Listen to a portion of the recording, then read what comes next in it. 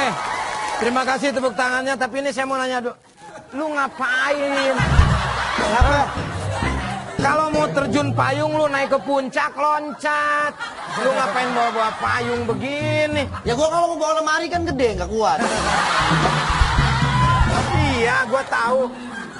Cuman kan setiap lu benda yang dibawa itu harus ada alasannya. Lu harus punya argumentasi. Do you know my friend? The day is a rain. Sekarang musim hujan. Yes, I know. Nah, itu dia.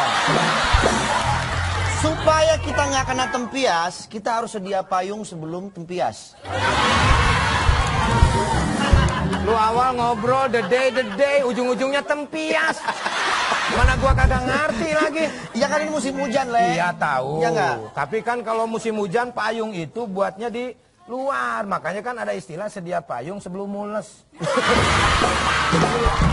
Hujan. Ya sebelum hujan. Ya kan kadang-kadang kalau hasil dari becek kan kita jadi, Jadi, diare. iya benar juga sih. Nah ini, Ini kalau di tempat di ruang di ruangan begini jangan pakai payung begini. Harusnya pakai apa? Harusnya kita sudah bisa memayungi diri kita sendiri supaya kita berbuat baik.